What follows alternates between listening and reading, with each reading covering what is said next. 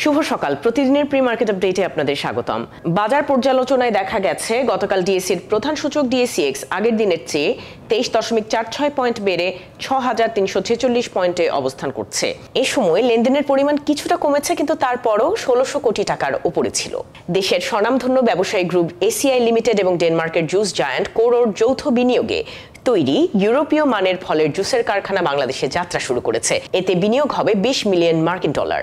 Bangladesh securities and exchange commission বাজারে কর্মচঞ্চলতা ফিরিয়ে আনার লক্ষ্যে আনোয়ার গ্যালভানাইজিং ওরিয়ন ফার্মাসিউটিক্যালস এবং রেনাটার সহ মোট ছটি কোম্পানির ফ্লোর প্রাইস তুলে নিয়েছে। সৌদি আরব ভিত্তিক company Red Sea Gateway Terminal Bangladesh লিমিটেডের আর সঙ্গে একটি সেবা প্রদান চুক্তি করেছে। শেয়ার বাজারে তালিকাভুক্ত তথ্য প্রযুক্তি খাতের company Genex Infosys Limited Bangladesh বিদ্যুৎ উন্নয়ন বোর্ড তথা বিপিডিবির সঙ্গে শাহজিবাজার পাওয়ার কোম্পানি লিমিটেডের বিদ্যুৎ বিক্রি চুক্তির মেয়াদ ন ফেব্রুয়ারি শেষ হতে যাচ্ছে, তাই এসপিসিএল তাদের প্ল্যান্ট বন্ধের বিজ্ঞপ্তি দিয়েছে।